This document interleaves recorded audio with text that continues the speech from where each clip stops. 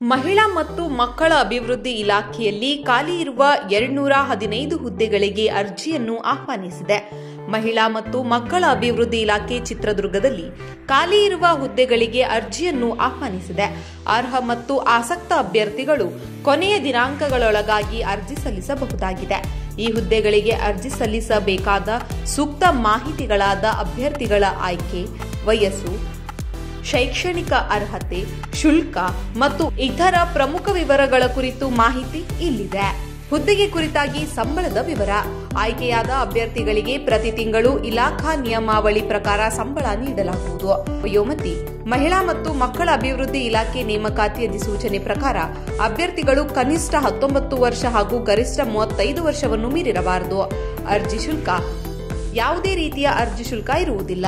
ವಿದ್ಯಾರ್ಹತೆ, ಅಂಗನವಾಡಿ ಕಾರ್ಯಕರ್ತೆಯರಿಗೆ PUC, SSLC, Kannada ಭಾಷೆಯಲ್ಲಿ ಪ್ರಥಮ ಅಥವಾ ದ್ವಿತೀಯ ಭಾಷೆಯನ್ನಾಗಿ ಓದಿರಬೇಕು.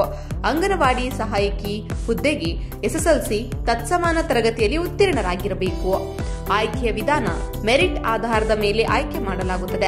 ಅರ್ಜಿ ಸಲ್ಲಿಸೋದು ಹೇಗೆ ಅಂತ ಯೋಚಿಸಿದ್ರೆ ಅಧಿಕೃತ ವೆಬ್ಸೈಟ್ಗೆ ಭೇಟಿ ನೀಡಿ ಮತ್ತು ಸೂಚನೆಗಳನ್ನು ಡೌನ್ಲೋಡ್ ಮಾಡಿ.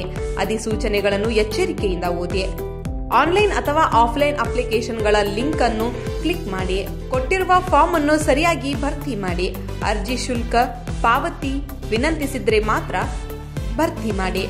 ಸೂಕ್ತವಾದ ಫೋಟೋ ಮತ್ತು ಸಹಿಯನ್ನು ಲಗತ್ತಿಸಿ, ಮತ್ತೊಮ್ಮೆ ಪರಿಶೀಲಿಸಿ ಮತ್ತು ಫಾರ್ಮ್ ಅನ್ನು ಸಲ್ಲಿಸಿ.